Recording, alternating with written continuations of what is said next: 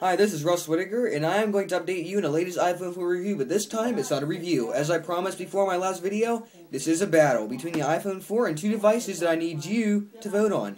Number one device I need you to vote on is the iPhone 3GS, or number two, the Palm Pixi Plus. These two phones, the iPhone 3GS and the i um, the Palm Pixi Plus, I was considering doing a review on those two and battling them out. But I need your votes for the iPhone 4 versus one of these two devices. Uh, I will go with some of the features of the iPhone 3GS, of course, a blood relative of this iPhone 4.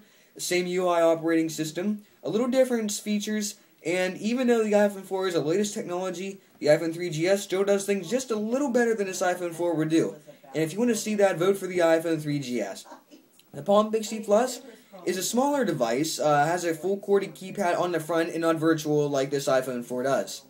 A couple other things would be dual speakers, uh, LED flash, 2 megapixel camera. If you want to see more about this phone, vote for the Palm Pixi Plus, and whichever one gets more votes within 7 days of voting, I will do my next review. Just vote in the comment section of my homepage. Thank you very much.